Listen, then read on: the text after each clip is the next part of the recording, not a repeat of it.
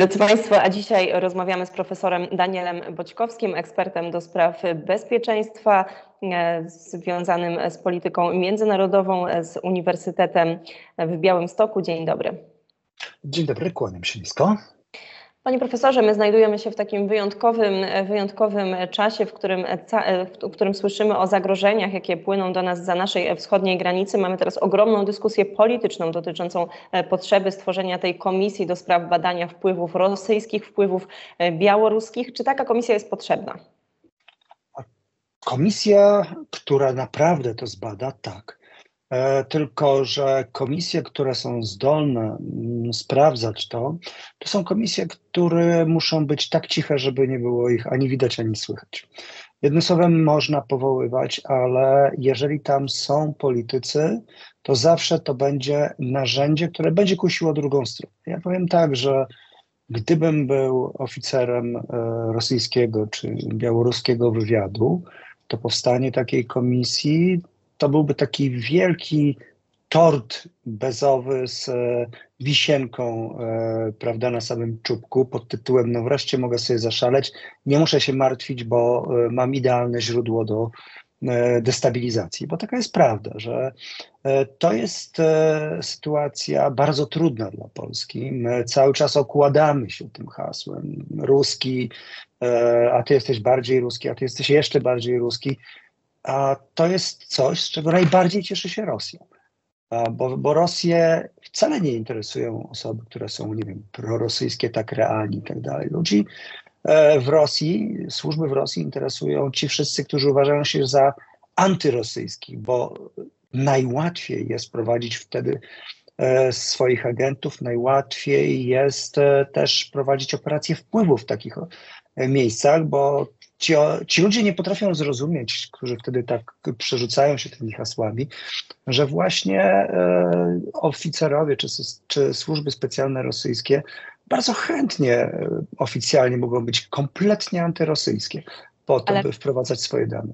To prawda, panie profesorze, ale ci ludzie, o których mówimy, to są najwyżsi rangą politycy w Polsce, bo mówimy między innymi o wypowiedziach premiera Donalda y, Tuska, mówimy o wypowiedziach byłego ministra obrony narodowej y, Antoniego Macierewicza. Słyszymy takie hasła jak Służby w Polsce od lat są y, wykorzystywane, uzależniane od służb rosyjskich. Bardzo poważne, poważne hasła. Jak to może być wykorzystane konkretnie przez Kreml dzisiaj? Znowu, takie stwierdzenia właśnie są, e, świadczą o tym, że jesteśmy penetrowani, e, bo e, żadna szanująca się osoba nie powie o swoich służbach, że jest e, to służba no, w jakiś sposób spenetrowana, bo, bo najpierw trzeba mieć po pierwsze dowody. E, po drugie, rzucając takie, mm, takie oskarżenia w przestrzeń publiczną, e, liczymy się z tym, że ludzie, którzy mogą lub chcieliby pomagać lub którzy zastanawiają się, czy pomagać polskim służbom, będą się trzymali od tych służb z daleka. E, no bo kto będzie chciał pomóc polskim służbom, jeśli słyszę, że to są służby idące na rosyjskim pasku? Nikt. Więc e, tego typu wymiana ciosów e, niszczy nasze służby, podważa ich możliwości działania. Jest po prostu jak najbardziej szkodliwa. Wokół służb musi być cisza, dlatego że e, cisza to jest coś, na czym można budować zaufanie. I tak myśmy zniszczyli swoje służby straszliwie. Każda wymiana, każda zmiana polityczna, każde wyrzucanie szefów, każda sytuacja, w której ludzie przychodzili, odchodzili, to dla ciągłości wiedzy, umiejętności jest to czynnik katastrofalny. No ale pamiętajmy o jednym: myśmy tak naprawdę mieliśmy swoją szansę na to, żeby służby rzeczywiście były takim narzędziem, które budzi zaufanie. Ale e, jestem ciekaw, kto ostatecznie spreparował e, aferę Oleksego, bo afera Oleksego była tym e, działaniem, które spowodowało, że politycy od tej chwili e, masowo na każdej zmianie orali służby w sposób absolutny, by nie paść ofiarą a więc to stała się taka walka. I tę walkę widzimy dzisiaj. My jesteśmy po prostu bezbronni.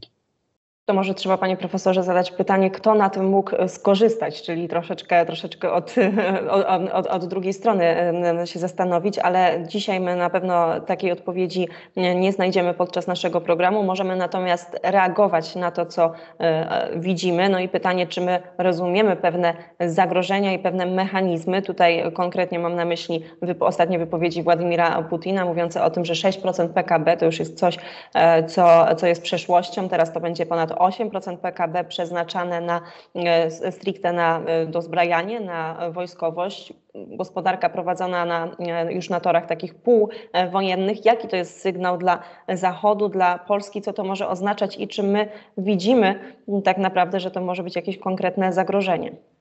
Znaczy, sygnał jest taki jak zawsze ze strony Federacji Rosyjskiej. Federacja Rosyjska ach, przypomina takiego wyrośniętego e, chłopaka, który, prawda, trzy lata kiblował w jednej klasie, po czym pojawia się w następnej i tam na wszelki wypadek leje wszystkich, żeby ustalić e, kto jest najsilniejszy i kogo należy się słuchać. I Rosjanie dokładnie zachowują się w polityce zagranicznej w taki sposób, że z jednej strony rzeczy prowadzą takie subtelne operacje, e, które są operacjami wpływu, a z drugiej strony leją, czy straszą, czy, czy grożą wszystkim na prawo i na lewo, zgodnie z zasadą, że jak e, e, się choć trochę przestrasz albo cokolwiek brzydko e, nam nie powiesz, to dziób. I to jest właśnie takie działanie rosyjskie. Putin tak naprawdę, no co, no to 6, 7, 10%, ale to, 10, to nie ma znaczenia, bo po pierwsze to jest kwestia, jaka jest realna wartość PKB rosyjskiego i rosyjskiej gospodarki. Czy może Rosja pozwolić sobie na wyłożenie takiej kasy w gospodarkę wojenną. Mhm. Ale z drugiej strony, panie profesorze, czy nie jest tak, bo jak spojrzymy historycznie, no to kiedyś Rosja przeznaczała nawet 13% PKB, to też między innymi doprowadziła tak do upadku, to prawda, upadła. Doprowadziło do upadku. Upadła, ale z drugiej strony, jak spojrzymy na to e, biznesowo, no to teraz Rosja produkuje dużo więcej niż potrzeba tylko na e, wojnę na Ukrainie, a hmm, też... Absolutnie, to są bajki rosyjskie, które są wprowadzane w obieg po to, by nas zastraszać. Jeżeli Rosja tyle produkuje, to dlaczego nadal wyciąga najgorsze złomy z czasów Związku Radzieckiego ze swoich magazynów, bo niczego nie produkuje. Bo tak naprawdę Rosja odtwarza tylko to wszystko, co poszło na złom i co jeszcze ze złomu się nadaje na tyle dociągnąć do fabryki, żeby uruchomić, bo dzisiaj Rosja nie ma mocy produkcyjnych, by tworzyć skorupy, czołgów i tak dalej. Więc ona po prostu przerabia to wszystko, co jest. To nie jest produkcja. Oczywiście ma produkcję, bo możemy powiedzieć, no produkuje dużo amunicji. No fajnie, no ale jednak cały czas ściąga tą amunicję z Korei, z Iranu, e, z Chin, e, więc no też różnie z tym bywa. Tylko, My tylko, się czy po prostu masa nie jest, czy, czy, czy, jednak ta masa nadal nie jest istotna, bo wyobrażam sobie, że nawet na stary czołg, masa postsowiecki czołg i tak trzeba y, użyć na przykład rakiety za milion dolarów, prawda? Jest. To znaczy powiem tak, masa zawsze jest istotna. Na ten czołg może użyjemy rakiety za milion dolarów, może nie, ale ten czołg e, bardzo często skrywa załogę. I tak naprawdę rolą czołgu poza walką jest ocalenie załogi, która jest, e, no bo dobrze, dla Rosjan nie ma znaczenia. Na Zachodzie e, ta załoga ma ogromne znaczenie, bo wyszkolenie tej załogi jest niezwykle kosztowne. Więc zachodni sprzęt, umiejętnie używany przez Ukrainę, jest niszczony tak jak każdy inny sprzęt, ale y, same załogi wychodzą w większości żywe, e, co utrzymuje potencjał bojowy, bo ten sprzęt znowu można dostarczyć. U Rosjan, jeżeli weźmiemy te, te rzeczy, no to załogi są jednorazowego użytku, tak jak każdy czołg. Oczywiście można powiedzieć ludzi mnoga, no ale to nie rozwiązuje problemu, bo tych ludzi trzeba szkolić. E, i trzeba w jakikolwiek sposób e, realnie także przygotowywać zaplecze na przyszłe działania. Rosja ma możliwości, by e, powiedzmy jednorazowo uderzyć na Ukrainę tak, by ją złamać, ale nie ma możliwości, by się tam utrzymać. Rosja ma taką sytuację ciekawą, że tak naprawdę przypomina trochę rybę rozdymkę. To znaczy, no, trzeba się jej bać, no bo inaczej się nie da. E, I te wszystkie działania, te wszystkie informacje, te wszystkie hasła, te wszystkie filmy, to wszystko, co widzimy, jest, jest dla nas. Dla nas, żebyśmy to oglądali, dla nas, żebyśmy się zastanawiali, że no kurczę, to może być ciężko, że nie poradzimy sobie, że nie mamy szans, że, że może lepiej odpuścić, że dajmy sobie spokój, Rosja za chwilę całą Europę Zachodnią zaatakuje, nie wiem, do Atlantyku sobie powędruje i tak dalej, a może tylko do Bugu, a może, a może tylko do Łaby, w zależności od nastrojów i tak dalej. Natomiast kluczem jest jedno, że my ciągle mówimy, że Rosja jest tym największym zagrożeniem, a Rosja w tym samym czasie mówi, że ona się broni zaciekle, bo największym zagrożeniem jest NATO. E, I e, tak naprawdę oczywiście rzuca wyzwanie e, Europie, która, która jest leniwa. No jest leniwa. Myśmy wyrzucili tak naprawdę mm, całą produkcję, bo produkcja zbrojeniowa jest brudna a myśmy wszystko, co brudne, wyrzucili z Europy, żeby nam nie przeszkadzało. I teraz jest kłopot, jak szybko osiągniemy zdolności produkcyjne, ale. ale w ogóle to jest możliwe, panie profesorze, żeby już dzisiaj mówić o, szybki, o, o szybkim odtworzeniu. E, e, pani, no, w tak, przypadku czy w ogóle jest możliwe, Unii, żebyśmy mówili o. Mhm. W przypadku Unii Europejskiej szybkie to są 3, 4, 5 lat. E, bo to są takie tempo, bo tak naprawdę potrzebny jest sprzęt, potrzebni są ludzie, potrzebni są ludzie, którzy, którzy potrafią to zrobić. My nie mamy robotników, my nie mamy fabryk, e, my nie mamy hut, nie mamy wielu innych rzeczy. E, a jednocześnie jest ten potencjał. Tylko myśmy poszli w super nowoczesną technikę wojskową, a front rosyjski pokazał, że tam nie ma znaczenia, że, że stare maksimy które pamiętają e, prawda, pierwszą wojnę światową i, i, i piosenkę o taczance, która prawda, w czasie e, konnej armii wędrowała sobie na Polskę, no to te same maksimy postawione teraz na podobne, tylko zmechanizowane taczanki skutecznie służy do obrony przeciwko dronom, bo jest w stanie zestrzeliwać, prowadzić ogień. Więc no, Technologia jest technologią, e, kwestią jest cel. Rosja ma jeden jasny cel i od zawsze.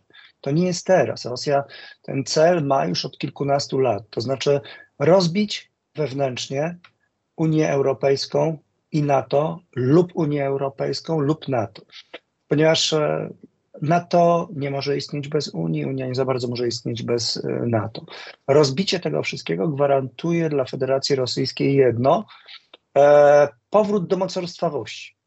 Bo jeżeli będzie mało, dużo małych państw, to Rosja będzie mocarzem. Oczywiście na swój sposób mocarzem, ale będzie mogła narzucać e, to, co chce. A Rosja nie ma innego pomysłu na rozwój niż ten taki rabunek e, tego wszystkiego, co, e, co ma wokoło. Rosjanie właściwie zachowują się tak, jak bolszewicy po I wojnie światowej, kiedy przejęli władzę, no bo on, bo, bo dla Putina odbudowanie Imperium Rosyjskiego jest podstawą. On wierzy w to, że jeszcze mu się to uda. No a jak się odbywało? Pierwszy etap to była wojna na zachodzie, e, plus wojna, oczywiście wojna domowa, potem wojna na zachodzie, podbicie części Białorusi, części Ukrainy, potem Kaukaz, potem Azja, no i stworzono sobie to imperium. Imperium się rozsypało, no ale cele są takie same. Kaukaz niby jest kontrolowany. Te ciągotki do Azji są, bo cały czas e, różne dziwne hasła na temat tego, że Kazachstan sobie podporządkujemy, się pojawiają. Natomiast najważniejsze. Czy to, panie jest... profesorze, przepraszam, że tak wejdę mhm. w słowo, ale czy to też nie jest tak naprawdę już od wielu lat błędna polityka, jaką stosuje Zachód, no tutaj mam głównie na myśli Unię Europejską. My często patrzymy na tą Azję no, też jesteśmy Unią, jak no. na mało atrakcyjny region, w który nie warto, nie warto gdzieś tam inwestować, a w tym czasie e, no, na cały czas te wpływy, wpływy rosyjskie gdzieś tam wracają, się pojawiają i trafiają na podatny grunt, ale też dlatego, że to my znaczy, sobie to Na podatny grunt czy, czy my sobie odpuszczamy? Problem polega na tym, że my nie jesteśmy zdolni do wielu operacji. My tak naprawdę nie jesteśmy taką potęgą gospodarczą, jak sobie malujemy i e, mamy swoje koncepcje, mamy swoje, e, prawda, sposoby działania. Jesteśmy coraz, e, jest nas coraz mniej, mamy coraz mniej e, dobrze wykształconej siły roboczej, mamy bardzo mocne wewnętrzne problemy. Jeżeli nie ma możliwości produkcji, bo brakuje nam ludzi, jeżeli technologicznie nie jesteśmy w stanie się zautomatyzować i tak dalej, no to, to tracimy konkurencyjność. To prawda, tylko Azja pytanie, czy swoją... Europa może sobie pozwolić na przykład na to, aby nie rozszerzać się, czy to o państwa e, e, Europa... o Bałkany, czy na przykład odpuszczać to znaczy pytanie, mhm. znaczy Europa na pewno nie będzie się rozszerzać dalej niż, niż Bałkany. No, były marzenia dotyczące Gruzji w NATO i tak dalej, ale widzimy, że Gruzja została skutecznie wyeliminowana. Aspiracje ukraińskie zostały bardzo ostro przycięte.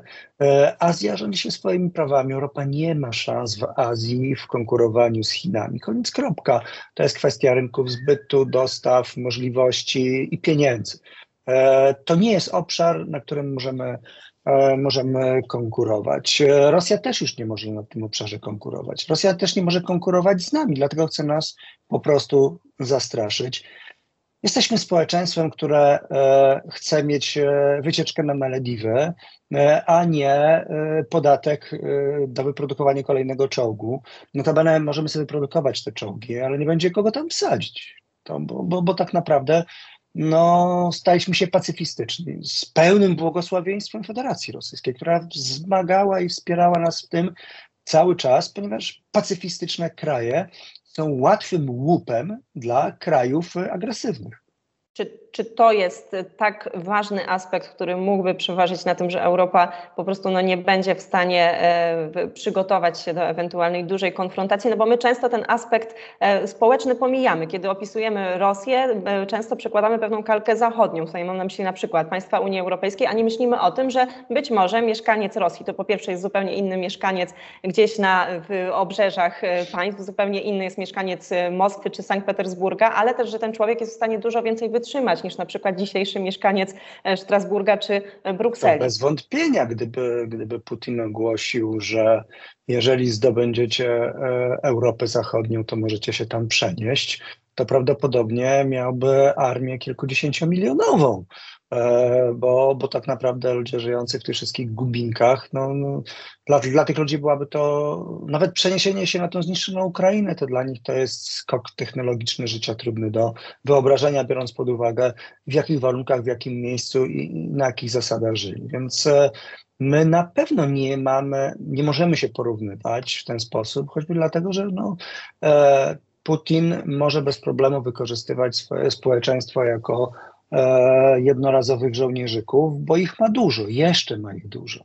E, I ci ludzie są, są w takim maraźmie, w takiej biedzie, w, takim, w takich warunkach życia, że pójście na front jest dla nich biznesem, ale to, to nie jest nic odkrywczego, bo proszę pamiętać, że kiedy państwo islamskie e, rozpoczęło rekrutację kiedy powstało, to poza masą ochotników, takich, co tam pojechali, bo chcieli sobie, nie wiem, postrzelać, bo grał Grand Theft Auto i uznał, że to można zobaczyć, jak to w realu, plus jakiejś tam niewielkiej grupy ludzi, którzy wierzyli, że tworzą kalifat, spora część e, tych oddziałów to byli ludzie, którzy z Bliskiego Wschodu wyemigrowali tam dla kasy. Po prostu, że ponieważ nie stać było ich na nic, więc wyemigrowali tam, e, zaczęli tam walczyć, liczyli na żołd, liczyli na to, że kobiet im się dostarczy, że będą mieli e, skąd wytrzasnąć żony i tak dalej, bo nie stać ich było w swoich krajach. Więc pod tym względem Rosja jest dużo biedniejsza więc i zaplecze, z którego może czerpać jest, e, jest e, większe. Tu na, na społeczeństwo, jeżeli chodzi o zdolności do walki, nie mamy co licytować. Natomiast, natomiast my i tak jesteśmy duzi jako struktura.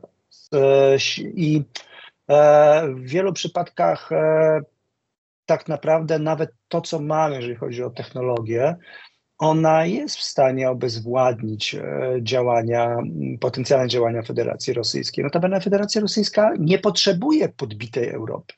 Federacja Rosyjska potrzebuje Europy, która się podporządkuje, która będzie brała cały czas tani gaz, która będzie dostarczała technologii, która będzie naprawiać im wszystko, e, wysyłać części, żeby to wszystko działało i która e, będzie nieawanturująca się, a przy okazji e, ceną za to będzie Europa Wschodnia, która ma wrócić po prostu do rosyjskiej strefy wpływów jako ten taki obszar buforowy i, i rosyjskich interesów. Tym wkalkulowana jest y, Polska. Przede wszystkim Polska, dlatego że Polska jest zwornikiem, który trzyma ten układ Europy Środkowej, no i jest kluczem do wszelkich innych działań, bo jest kluczem do dostaw energii do Niemiec, jest kluczem także do tego, żeby nie, nie zbierać wokół siebie tych, którzy nie cierpią Rosji. Rosjanie, kiedy wybuchła wojna, to przede wszystkim nie docenili Ukrainy jako takiej, jej zdolności do, do działania, ale myślę, że na jakimś etapie nie docenili też tej desperacji Polski.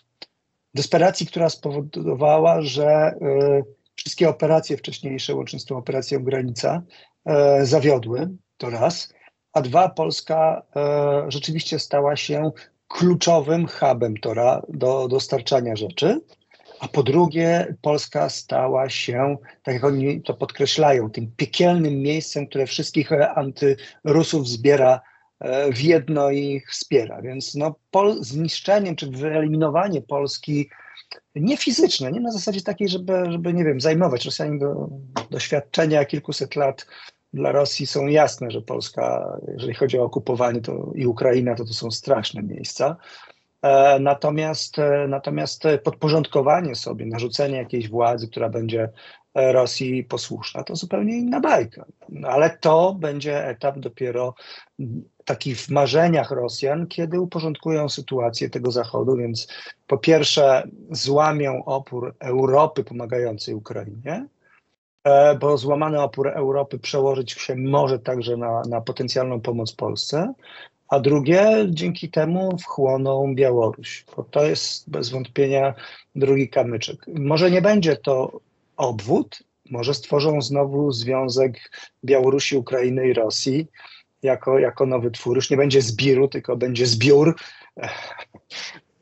Jeszcze, panie profesorze, chciałam na moment wrócić do pierwszej części pana wypowiedzi dotyczącej tych nowoczesnych technologii, że e, to, to może być taki pewien, nie wiem, e, as w ręku e, Europy, ale kiedy dzisiaj myślimy o wyścigu technologicznym, no to przede wszystkim jednak po pierwsze o Stanach Zjednoczonych, które, nadal przodują ku zaskoczeniu części komentatorów. Kilka lat temu była mowa o tym, że Chiny wyprzedzą, przeskoczą gdzieś, zrobiły tak duży skok technologiczny, że będą pierwsze, no są Stany Zjednoczone, ale zaraz za nimi są Chiny.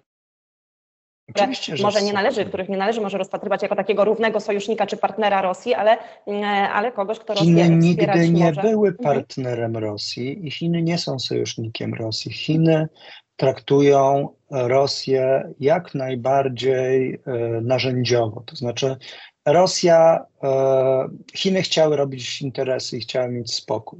E, Rosja chciała wojny. Chiny uznały, że być może taka szybka wojna i kompletne przeoranie sytuacji w Europie może się Chinom przydać, bo gdyby Ukraina szybko padła, to e, Putin dokładnie zrealizowałby ten swój plan, który nam zapowiadał wielokrotnie, a ostatni raz w 2021 roku zimą, że ma się zmienić układ sił w Europie, że ma się zmienić układ sojuszy, że NATO ma się wycofać do granic 97 roku i tak dalej, i tak dalej, więc Europa Wschodnia jest nasza, a my robimy co chcemy na całym tym obszarze postsowieckim. Z punktu widzenia Chin byłby to cios w e, Unię Europejską, no bo nie uczmy się, jeżeli byśmy wycofali NATO z terenu e, państw e, wschodnich Europy, no to nie wiem, jakby się utrzymała Unia w tym momencie jako zbiór. Bardzo możliwe, żeby się rozsypały i Rosjanie by uzyskali swój efekt, a Chiny też, bo Chiny też nie chcą Unii. Chiny nie chcą Unii z powodów gospodarczych, Rosjanie z wszystkich możliwych e, przyczyn, więc, e, więc to mogło na upartego się powieść i Chiny zaryzykowały. Niestety wojna potoczyła się nie po myśli Chin e, i te wszystkie potencjalne mm, szlaki handlowe mm, w ramach tego jedwabnego szlaku zostały przerwane. No faktycznie to tutaj nie wyszło Chińczykom, no ale dostali za to ogromny prezent jakim była możliwość całkowitego podporządkowania gospodarczego Federacji Rosyjskiej. I tak naprawdę dzisiaj Federacja Rosyjska jest e, jest wasalem Chin. No jest wasalem, Jeżeli... ale nawet ta polityka w takim trybie wasalskim, o której mówi pan e, profesor, też może być dla nas niebezpieczna, bo jeżeli przyjmiemy, że Chiny będą nawet w jakiś taki sposób, no nie chcę być kropelkowy, ale, ale będą traktowały Rosję jako takiego, nie wiem, junior partnera, kogoś, kto jest uzależniony gospodarczo, to mogą jej dostarczać nowoczesne technologie, mogą dostarczać broń, o tym e, wielokrotnie była, była mowa, my nie widzimy, to, to jest ciężko tak trochę mogą, nowoczesne technologie po co? Jeżeli tak naprawdę Rosjanie potrzebują wszystkiego, a Chiny im to wyprodukują.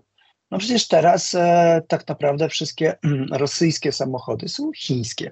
Kupa rzeczy, które Rosjanie zakładają, że oni zrobili, to tam tylko czasami nalepka e, jest po rosyjsku i też e, e pytanie, czy ta nalepka po rosyjsku jednak w Chinach nie została wyprodukowana.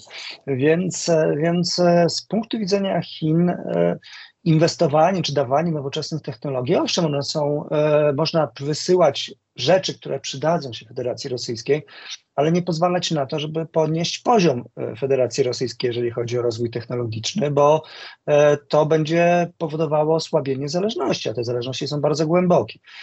Na tych zależnościach może Rosji zależeć, ale jakbyśmy jeszcze spojrzeli szerzej, czyli na przykład na taki wyścig o hegemonię na, e, na, na Pacyfiku, na Tajwan, my wszyscy podkreślamy, że Ameryka, no, chociaż ma ogromne zasoby, to jeżeli równolegle wybuchłoby kilka konfliktów, teraz mamy bardzo trudną sytuację na Bliskim Wschodzie, która też pokazuje w jakiś sposób no, pewnie osłabienie e, te, tego lewaru, jaki Ameryka do tej pory miała. Z drugiej strony mamy kwestię Tajwanu, 60% mikrochipów produkowanych e, tam. Wiemy, wiemy o, o co tutaj toczy się gra i chyba dużo, e, dużo ważniejsze pole niż e, Europa czy e, Polska. No to pytanie, czy to też nie jest Chinom na rękę rozgrywać w taki sposób, aby Stany Zjednoczone, które chcą utrzymać ten prym, chcą utrzymać hegemonię, musiały inwestować i być wszędzie w tych miejscach, a tyle zasobów nie mają.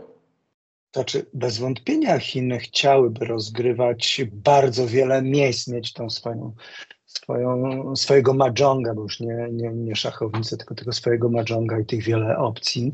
E, ale pamiętajmy o jednym, że e, Chiny też grają e, pod publikę, też starają się pokazać silniejsze niż są, bo Chiny mają bardzo dużo wyzwań wewnętrznych. E, Chiny tak naprawdę rozwijają się dzięki stałemu przyspieszeniu gospodarczemu, a ten przyspieszenie gospodarcze było możliwe dzięki konsumpcji wewnętrznej i zewnętrznej. W pewnym momencie to się to osłabło i to widać dzisiaj po, po załamanych inwestycjach w, z budynki, w całe miasta wybudowane, które są puste i tak dalej. Więc to jest taki jeden etap. Drugi etap e, Chiny, owszem, e, Tajwan to jest część Chin to trzeba zrozumieć jedno, że Chiny patrzą na swoją, e, na, swój, na swoją historię jako na pewną jedność. W tej jedności mamy Tajwan jako część Chin, w tym mamy, choć ona taka dosyć późna jest, ale na przykład tym mamy także Mongolię, która też, e, Mongolię wewnętrzną, która też była, e, tam też było wiele obszarów, które są chińskie. Chin, Chiny chciałyby że powrotu, chciałyby Harbinu, chciałyby wielu innych miejsc. Natomiast e, ta hegemonia na tym obszarze kosztuje. I hegemonia chińska to jest hegemonia gospodarki. To nie jest jeszcze hegemonia e, armii, dlatego że Chiny nigdy nie miały armii ekspedycyjnych. E, I trudno im jest tworzyć armie ekspedycyjne, także dlatego, że sama technologia nie rozwiązuje tu problemu, tu trzeba mieć doświadczenie. Ja bym bardzo był ciekawy sytuacji, w której chińskie, chińskie floty, zespoły lotniskowców chińskich z wszystkimi tam e, dodatkowymi e, powiedzmy okrętami obsługi, pomocy i tak dalej, przejmują od Stanów Zjednoczonych bezpieczeństwo na Morzu Czerwonym, żeby zapewnić Chinom drożną drogę prawda, do Europy przez, e, przez Bab al-Mandabi i, e, i kanał Suezki. I, doświad- I Chiny, które operują, które mają tą siłę. Na razie, na razie tej siły nie mają, a jeżeli nie są w stanie e, utrzymać bezpieczeństwa na szlakach żeglownych, no to i tak ich, zysk, ich zyski zależą od Amerykanów, którzy mają te środki. Chińczycy to wiedzą, więc no tutaj jest ta gra jest bardzo skomplikowana, bo moim zdaniem Chiny e, inaczej patrzą na hegemonię niż nam się wydaje. To jest raz. E, a Rosja po prostu wypadła z tej gry i Rosja zdaje sobie z tego sprawę, ale Chiny boją się, bo pamiętają, że Rosja może wykonać woltę w pewnym momencie. One nie chciałyby. Same zresztą wykonały woltę, kiedy za Nixona wymiksowały się z tego układu sił. Więc, więc tutaj jest wiele takich pytań o które są zupełnie bez odpowiedzi, no bo opcji jest bardzo dużo, jak w Mahjongu. To prawda i może uda nam się e, umówić na kolejną rozmowę, którą poświęcilibyśmy e, tylko rywalizacji chińsko-amerykańskiej, ale jeszcze Panie Profesorze, na moment, na zakończenie naszej rozmowy chciałam wrócić do, mm, do Polski. E, tarcza Wschód, o którą ogłosił premier Donald Tusk. Jak ocenia Pan ten projekt? Znaczy, Tarcza Wschód jest projektem, który powinien już dawno zostać wdrożony dlatego że to niebezpieczeństwo nie narastało nam e, tam od 2002 roku. Tutaj widać było, że e, Rosja bardzo agresywnie mm, postępuje już trochę wcześniej. Tylko nasza tarcza wschód to jest kawałek tarczy. Proszę zobaczyć, że tak naprawdę powstaje tarcza wschód, która zaczyna się za kołem podbiegunowym u Finów, a optymistycznie kończy się gdzieś e, w okolicach Chrubieszowa, E, w zależności od tego, jaka będzie sytuacja na Ukrainie. E, Im gorsza sytuacja na Ukrainie, tym większe będą pytania o, o tarczę wschód niżej. I budujemy wszyscy razem. Budują Finowie, budują Estończycy, Łotysze, Litwini, budujemy my. To jest taki, taki korytarz prawda, bezpieczeństwa.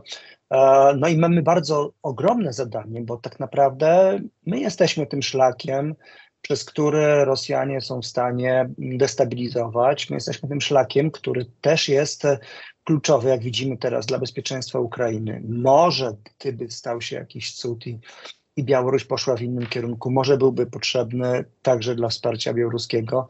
Bez wątpienia, niezależnie od y, kontroli Bałtyku, y, to ten nasz kanał jest też wsparciem dla państw y, bałtyckich i Rosja o tym wie.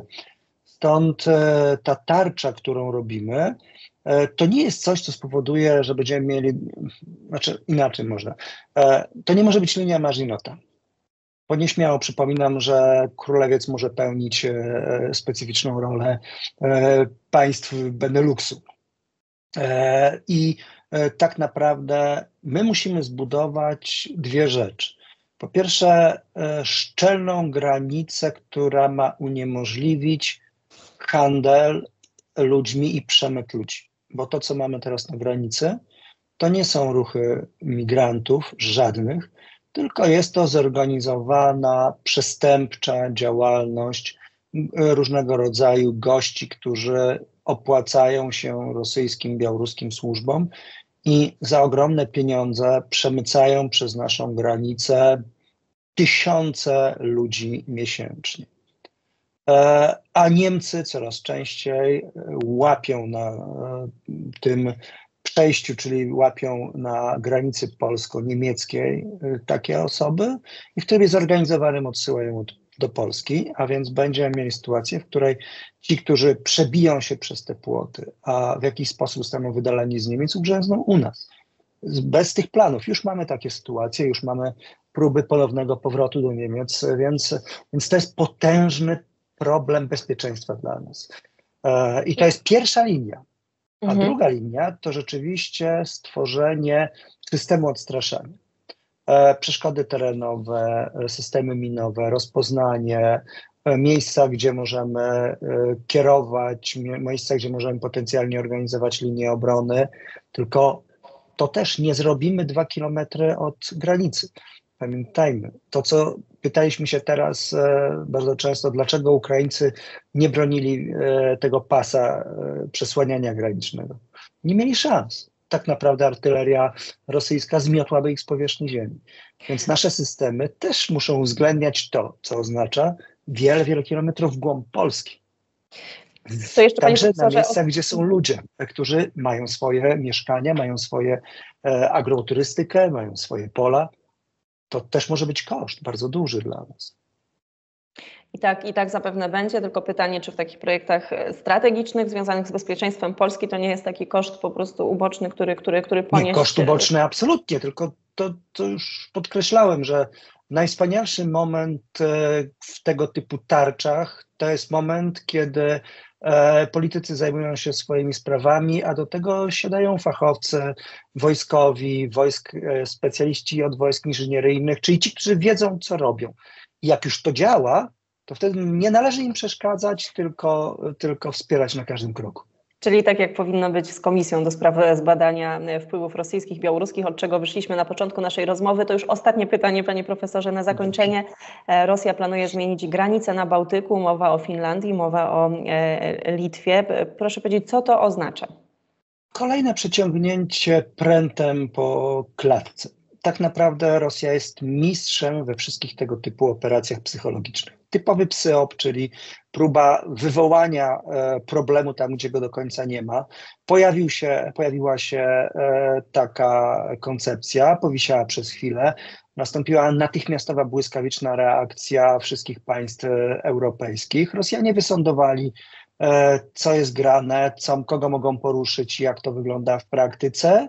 No I zdjęli to, bo kluczem było sprawdzenie, rozpoznanie bojem. To jest typowe rozpoznanie bojem. Oczywiście to będzie powodowało, że my cały czas się tym zajmiemy, my cały czas mówimy, Rosjanie chcą zmieniać granice, a w mózgu zostaje, no tak, no zmienią nam te granice, bo w końcu nie będziemy mieli szans. E, I znowu psychologia jest tutaj kluczem do zrozumienia, co robią Rosjanie. Za chwilę wymyślą kolejną bajkę, za chwilę uruchomią coś innego, za chwilę znowu powiedzą, że nas zbombardują atomówkami, potem dowiemy się jakichś innych ciekawych rzeczy. Teraz mamy przecież taki moment, kiedy, kiedy szukaliśmy wszędzie dywersantów, a trochę osób udało się złapać.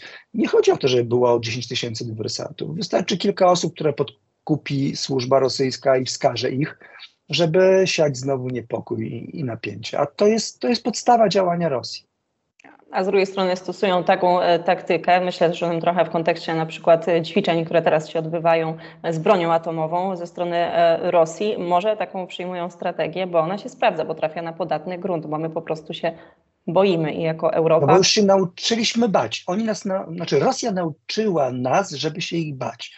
W pewnym momencie przestaliśmy się bać, kiedy Ukraina obnażyła całą potęgę tak zwaną armii rosyjskiej no i okazało się, że to, co na paradach jeździło, nie ma nic wspólnego z rzeczywistością, no ale Rosja odrobiła tą lekcję bardzo szybko. My nie odrobiliśmy tej lekcji, a Rosja odrobiła tą lekcję. I dziś to jest zupełnie inny przeciwnik niż dwa lata temu. I tutaj, panie profesorze, stawiamy trzy kropki. Myślę, że do tych rozmów będziemy wracać. Bardzo serdecznie dziękuję profesor Daniel Boćkowski, historyk, ekspert do spraw bezpieczeństwa związany z Uniwersytetem w Białymstoku. Jeszcze raz dziękuję za rozmowę.